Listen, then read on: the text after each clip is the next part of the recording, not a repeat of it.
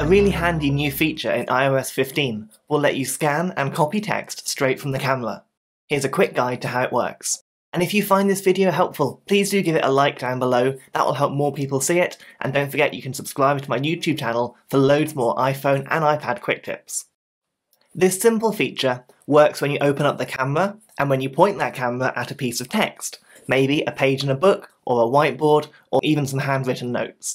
Here I've got a book about New York City, and I would like to copy and paste the list of things to do. So when I offer up the camera to that piece of text, in the bottom right hand corner I get a new icon. Tapping on here will extract the text and make it center on the screen for me. At this point, just like in any other app on your iPhone, you can tap and drag your finger across the text that you want to highlight, and then you can copy it and you can paste it elsewhere.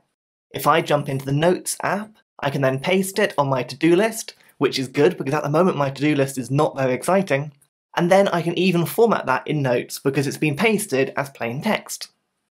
Let's get a little bit more information from that book now, so I'll jump into the Camera app again, and this time I want to copy the text from the paragraph about Broadway.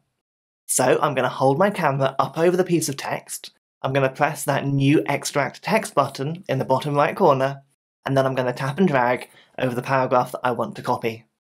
From here, it's simply a case of copying it, going into Notes, and pressing paste. As promised, that was a really quick tip, but hopefully one that you'll find plenty of use with on your iPhone. Don't forget there are loads more iOS and iPadOS 15 videos just waiting for you on my channel, so make sure you subscribe and you won't miss anything.